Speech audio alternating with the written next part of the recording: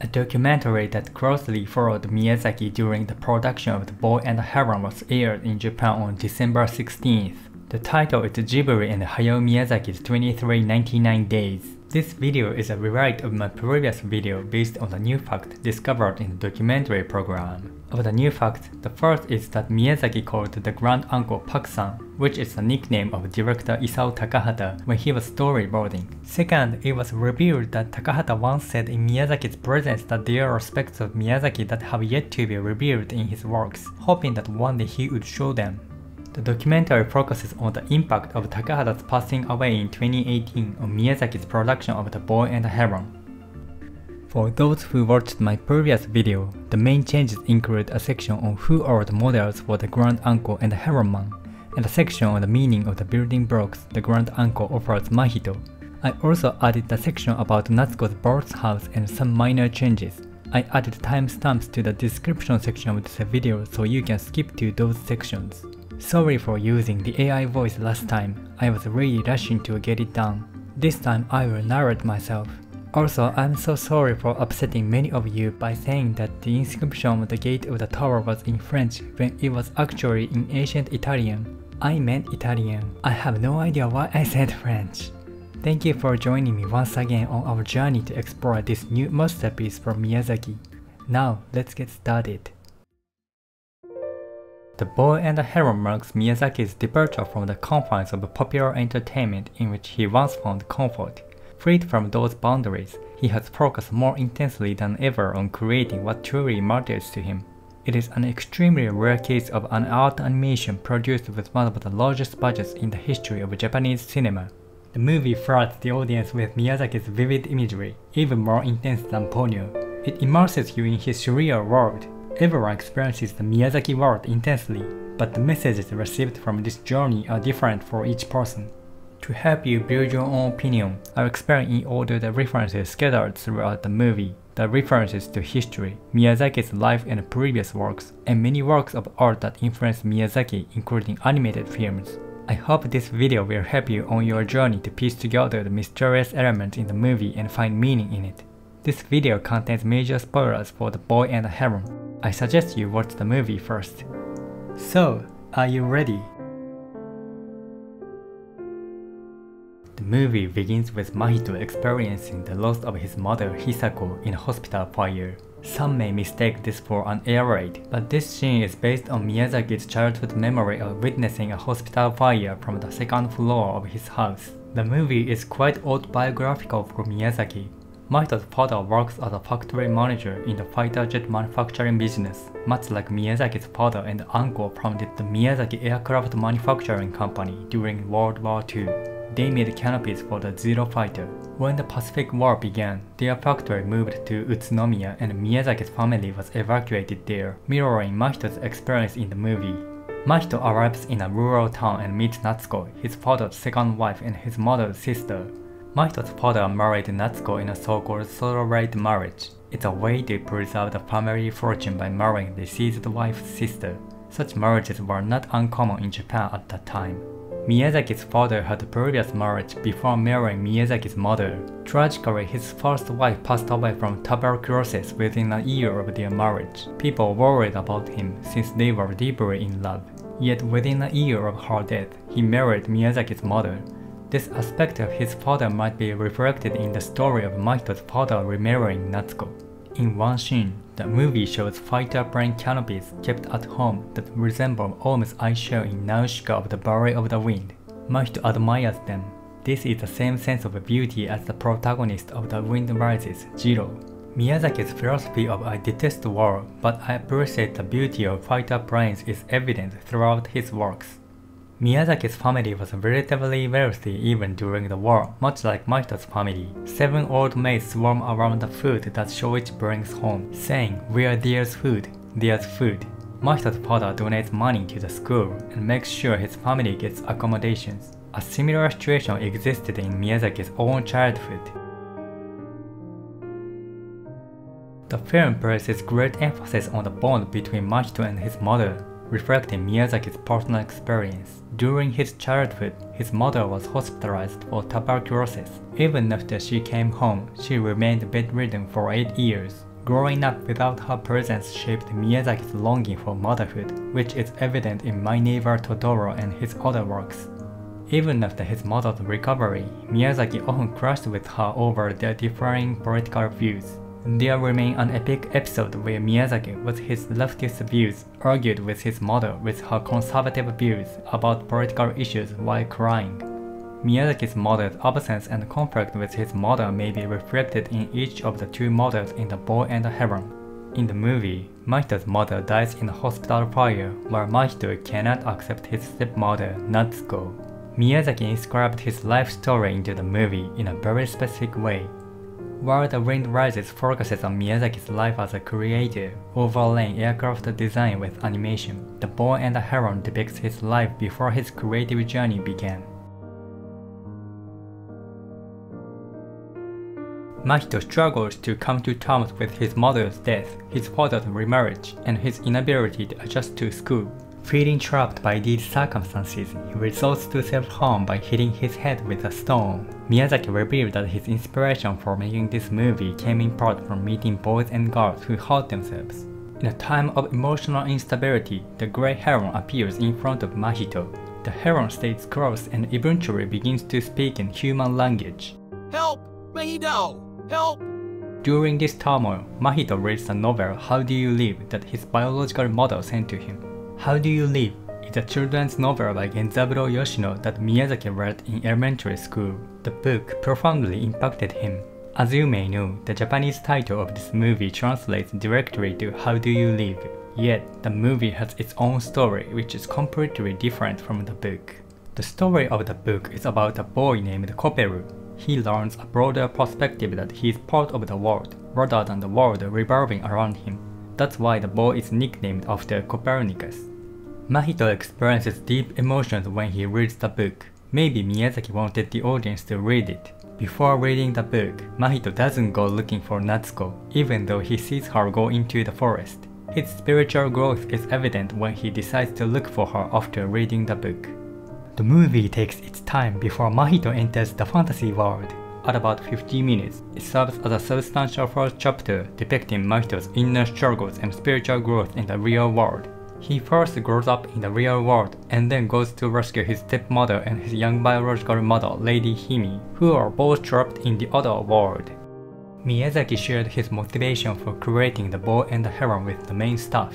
It's easy for me to portray a bright, energetic girl or a boy with a sense of justice and physical strength. The real me is not like that. I thought I couldn't deal with what's been nestled in my heart since birth. That's why I've never made such movies but one book inspired Miyazaki to delve into the aspect that he had kept hidden.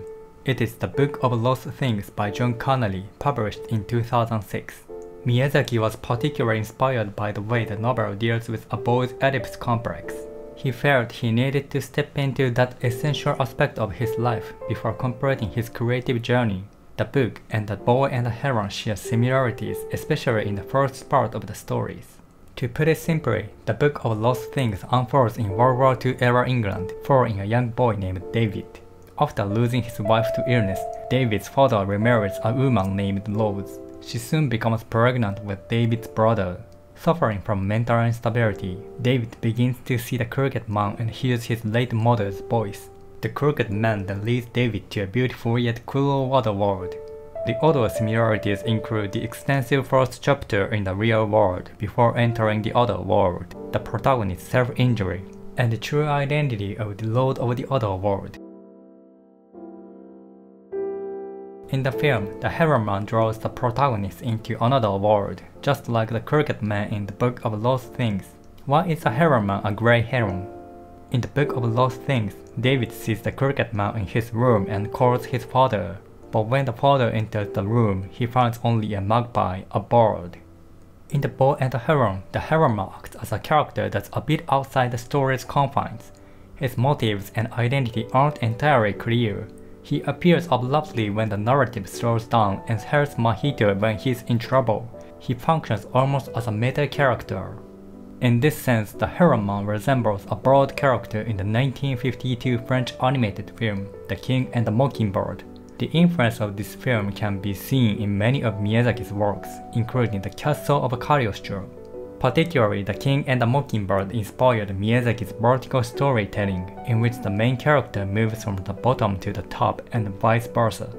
In the film, when the main characters call out, Bird, Bird, a bird appears out of nowhere to rescue them. So, the bird is quite an opportunistic character, just like the Heron Also, as suggested by the title, the King and the Mockingbird features a dictatorial king, similar to the parakeet king in The Boy and the Heron. The Heron Man has a complex personality that's not easy to trust. Even though he argues with Mahito all the time, he ends up accompanying Mahito on his journey. In this sense, I'd say the model for the character is Ghibli's film producer Toshio Suzuki. Suzuki is the driving force behind Ghibli's commercial success in Japan. He didn't hesitate to twist the essence of Miyazaki's films for promotional purposes in order to make them a hit. Suzuki's marketing strategies sometimes infuriated Miyazaki. For instance, the trailer for Porco Rosso featured a lot of aerial combat, making it look like an action-packed adventure movie. However, it's true that Ghibli has achieved box office success in part due to Suzuki's marketing skills. Suzuki and Miyazaki's relationship overlaps with that of Mahito and Heron The Heron tells Mahito lies like, your mother is alive, you didn't see the dead body, did you? Mahito is skeptical, but he goes along with the Heron story anyway. At the end of the day, everything goes well, and they become friends. Also, the Heron appearance resembles Saruta, who appears in several Osamu Tezuka manga. The Heron prominent nose bears a strong resemblance to Saruta's. Before becoming an animator, Miyazaki aspired to be a manga artist and was greatly influenced by Tezuka. Mahito and the old maid Kiriko venture to the tower that connects to the other world in search of Natsuko. Above the tower's entrance, there's an inscription in ancient Italian. Fecemi la divina potestate. It's part of the inscription on the gates of hell from Dante's Divine Comedy. It continues with La summa sapienza è il primo amore. It means the divine omnipotence, the highest wisdom, and the primal love created me. Mahito shoots an arrow at the Heron and it hits him. On Grand Uncle's order, the Heron leads Mahito to where Natsuko is. At that moment, the Grand Uncle drops a rose where Mahito is. The language of the rose is you are the only one. This may represent the Grand Uncle's wish to make Mahito the heir of the world he has created.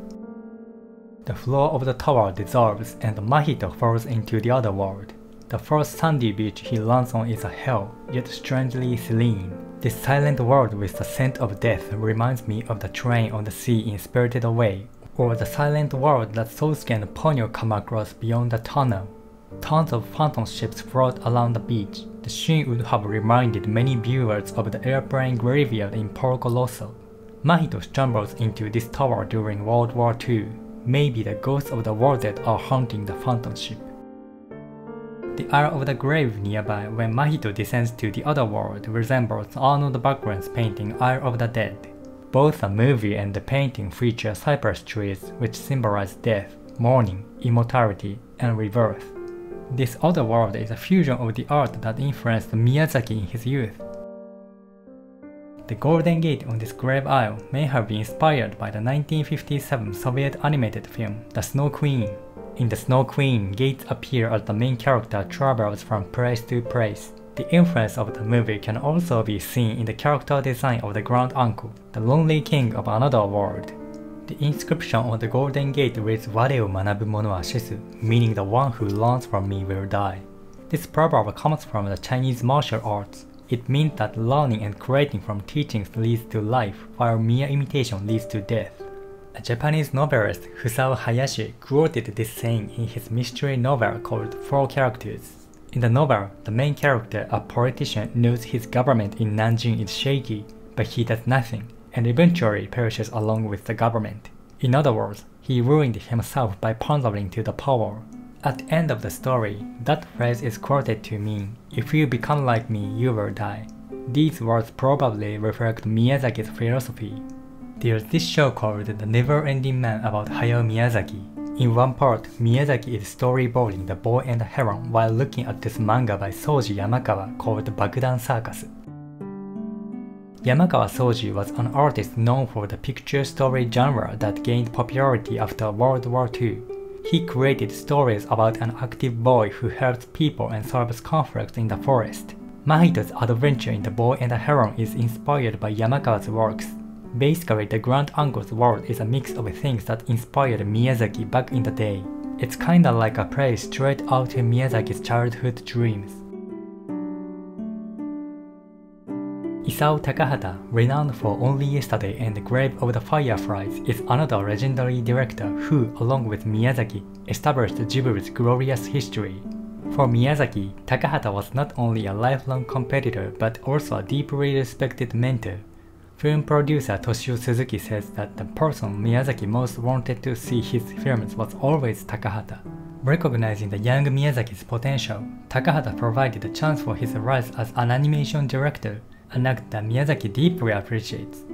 Miyazaki first worked with Takahata on The Great Adventure of the Horus, Prince of the Sun, and the scene where Mahito sails out to the sea where Kiriko is tribute to that film. According to producer Suzuki, Miyazaki originally envisioned a plot in which Takahata, as the grand uncle, would advise Miyazaki as Mahito on how to live his life. However, as Miyazaki was writing the storyboard, Takahata passed away in 2018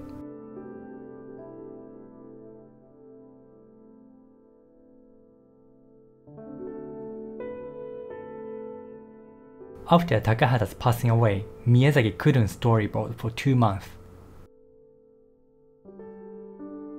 Since then, the grand uncle had not appeared in the storyboarding process. But later, at the very end of the story, the grand uncle, symbolic of Takahata, reappeared to ask Mahito to take over his world. Meanwhile, as for the character design of the grand uncle, I believe that Lafcadio Hearn is the model for the character.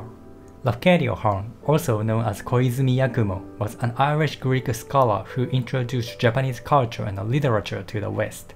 Natsuko mentions that the grand uncle was quite well read, and the photo suggests that he was a Westerner who settled in Japan. The old maid mentioned the grand uncle built this tower based on a meteorite that fell after the Meiji Restoration. Hearn also came to Japan at the time and married a Japanese woman, the crest of his Japanese family was a gray heron. His most famous work is Kwaidan, an English translation of Japanese ghost stories.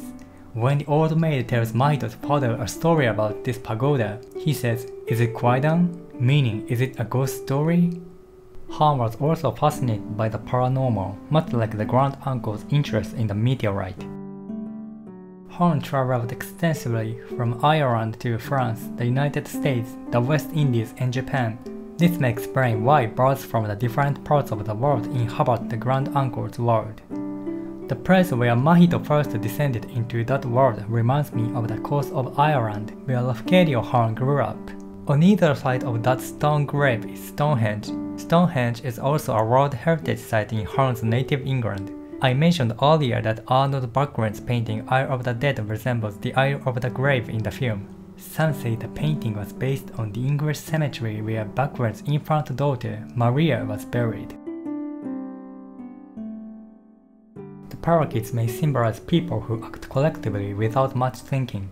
Unlike Mahito, who thinks independently, Miyazaki portrays the parakeets as those who follow the crowd. They eat, work, and drink alcohol in the Grand Uncle's tower. With their greed fueled by this mass consumption, the parakeets want everything, Fascinated by their leader, the Parakeet King, they try to wrest control of the world from the Grand Uncle. Mahito and Lady Himi break the taboo of entering the bathhouse. The king uses Lady Himi as a bargaining chip to wrest control of the world from the Grand Uncle. The Parakeet crowd holds up signs praising the Parakeet King with the word Duke. The Italian pronunciation of the word is similar to Duce, which has been associated with the Italian dictator Mussolini. This is probably a metaphor that the flag of parakeets represents a fascist party, and the parakeet king symbolizes Mussolini. In Miyazaki's Porco Rosso, the main character, Porco, is being hunted by the secret police and the air force because he refuses to cooperate with the Italian fascist regime. My viewer kindly told me the scene where the parakeets hide weapons behind their backs resembles the Fleischer's short film Bimbo's Initiation from the Betty Boop cartoon series. Miyazaki is a fan of the Fleischer's cartoons, and their influence can be seen in many of Miyazaki's earlier works.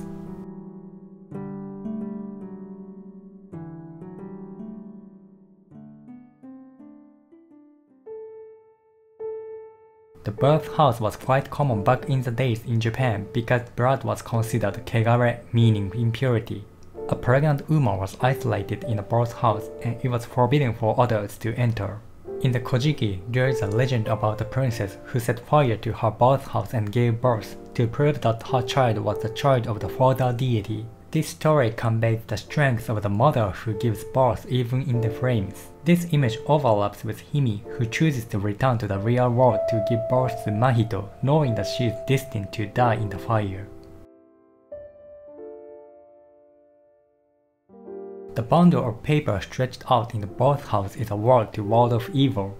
The stone that created this world tried to drive away Mahito and Himi with a light like electricity. To the stone, Natsuko's baby could have been another candidate for the successor of this world. Natsuko could also have been called to that tower by the power of the stone, just as the Grey Heron tried to take Mahito to the other world. The world view in the Grand Uncle's Pagoda, where does it come from? Miyazaki's storytelling philosophy is similar to that of Haruki Murakami. When storyboarding, Miyazaki delves into the unconscious, so some aspects of his stories defy logic. Yet there are some aspects of the Grand Uncle's world that can be explained. Where Mahito landed is hell. Also, since Wara Wara are born into the real world, it seems the concept of reincarnation exists in this world. Perhaps subconsciously, Miyazaki drew inspiration from the Buddhist notion of the six realms of reincarnation as he envisioned this alternate world. Buddhism teaches that after death, good deeds during life lead to a world without suffering, while bad deeds lead to a world of suffering. The six realms of reincarnation are heaven, human, demigod, animal, hungry ghost, and hell. In the movie, Mahito first descends to the Hell Realm. Next is the world where pelicans, Wara Wara, and the shadow people are looking for food. In the Buddhist teachings, those who have gone to the Hungry Ghost Realm will always suffer from hunger and dryness. The next place where the parakeet live is the animal realm where non-human animals go. The human realm is the world of human suffering. The demigod realm is a place of constant conflict, a world of hatred and envy. Japan during World War II, where Mahito lives in the real world, may fall under the human and demigod realms. And then there's the heaven realm. There's a starry sky behind the Grand Uncle when Mahito first sees him. It's implied in the movie that the Grand Uncle made a deal with a stone in the heaven realm and created this other world. The Heron Man leads Mahito in the other world, much like Virgilius leads Dante in Dante's Divine Comedy. Similarly, Lady Himi leads Mahito to the Grand Uncle, as Beatrice leads Dante to heaven. Finally, Dante dialogues with a celestial being in the Divine Realm, just as Mahito dialogues with the Grand Uncle in heaven. When the Grand Uncle's heaven collapses in the final act, the ground gives way, revealing a starry sky below. Now let me summarize the positional relationship of the different realms in this world. There is the human world, and below that is the realms of hell and hungry souls. Above that is the animal realm, the world of the parakeets, and then heaven. The tower that connects these realms stands in different places in the world at the same time. The Grand Uncle's world is probably composed in such a positional relationship. The Grand Uncle in the movie is based on Isao Takahata. Producer Toshio Suzuki suggests that Mahito may represent the version of Miyazaki he aspired to be, while the Parakeet King may represent who Miyazaki was. Suzuki even guesses that the tower may symbolize Ghibli. Please keep in mind that these interpretations are not definitive at all. How one interprets a movie is up to each viewer. Yet, Suzuki's perspective provides a consistent and compelling interpretation of the meaning of the building blocks. The number of blocks the Grand Uncle stacked was 8. This may represent the number of feature films Takahata has directed. Later, the Grand Uncle offers Mahito the 13 blocks. This may represent the number of feature films that Miyazaki has directed on his own. Federico Fellini's film Eight and a Half also has a title with the number of films the director had made up to that point. Counting a co-directed film as half a film, his eighth and a half film is Eight and a Half. Miyazaki saw Eight and a Half during the production of The Boy and the Heron. After watching it, Miyazaki said, Who is this guy? He thinks the same thing I do. The Boy and the Heron and Eight and a Half share the same theme, both deal with the agony and chaos of filmmaking. The grand uncle offered Mahito the building blocks. This could symbolize the fact that Takahata recognized Miyazaki's potential and gave him the chance to become an animation director, which Miyazaki truly appreciates. The grand uncle advises Mahito to stack a block every three days. This could mean that Miyazaki usually worked on one movie for about three years a documentary that closely followed Miyazaki during the production of The Boy and the Heron aired in Japan on December 16th. It was revealed that Takahata once said in Miyazaki's presence that there are aspects of Miyazaki that have yet to be revealed in his works, hoping that one day he would show them. During the early stages of the production of The Boy and the Heron, Miyazaki said to the main staff, I'm aware that I've been creating animation while hiding crucial aspects of myself. I thought I couldn't deal with what nestled in my heart since birth. That's why I never made such movies. But now I think that if I don't, I might end up not expressing something important. This could be the part Takahata said Miyazaki was hiding, and maybe this is what Mahito means by malice. Although the word malice is used in the movie, what it means would be closer to the dark side of one's heart, Perhaps it was this feeling that drove Miyazaki to make The Boy and the Heron. The feeling that he hadn't yet fulfilled Takahata's wish that Miyazaki would one day make a movie about his own hidden side. When Mahito confronts the grand uncle for the first time, he realizes that the stone contains malice. This probably means that Takahata's works reflect his inner world, including his dark side. For example, in Pom Poko, humans are depicted as invading the habitat of raccoon dogs. The grand uncle offers much to the 13 blocks and says these blocks contain no malice. This reflects the fact that Miyazaki has not shown his inner darkness in the 13 films he has directed. The Parakeet King, a representation of who Miyazaki was, quickly stacks these blocks. Of course the Tower of Blocks becomes unstable and he eventually breaks it with his sword. On the other hand, Mahito, the person Miyazaki wanted to become, does not accept the 13 blocks offered by the grand uncle, symbolizing Isao Takahata.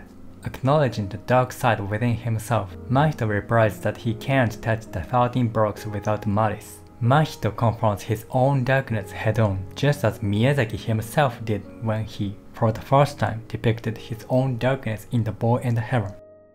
Acknowledging his malice, Mahito chooses to return to the real world where people kill and rob each other, the world that will eventually become the Sea of Fire as the Grand Uncle says.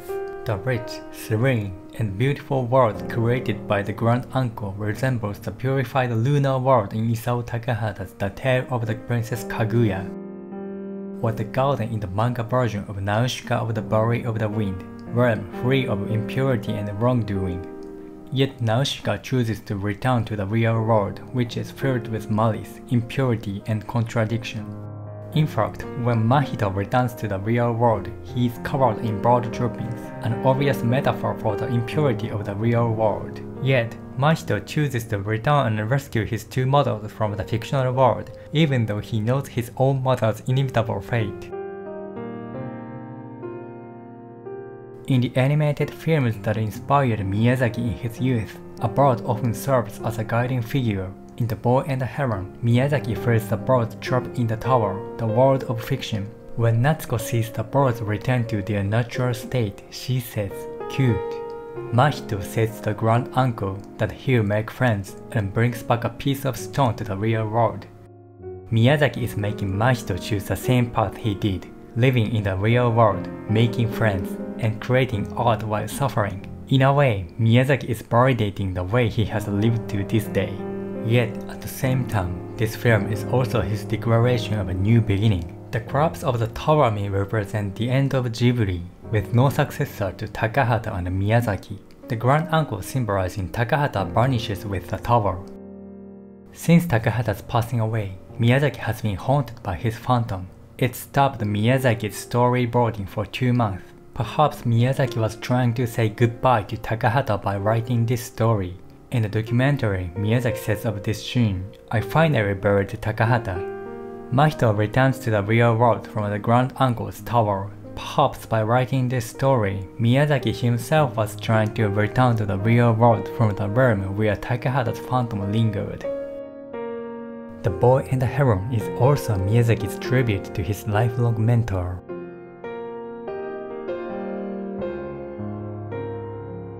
In the end credits, the kanji character Saki in Miyazaki's name has been changed to another character with the same sound. This may suggest Miyazaki has been reborn as a new animation creator. The lyrics of the film's theme song, The Grove by Yonezu Kenshi, read as follows. Opening the door, doorknob as if revealing a secret, the joy of touching hands, the sadness of letting go. Endlessly I'll sketch these, like spinning a globe. Every Ghibli movie has the sign of the end at the end, but in The Boy and the Heron, this sign is not there. It may suggest our lives go on even after the movie ends. Or I heard that Miyazaki had already submitted a proposal for the next project while working on this movie. What an incredible energy! It could also mean that Miyazaki is not done yet.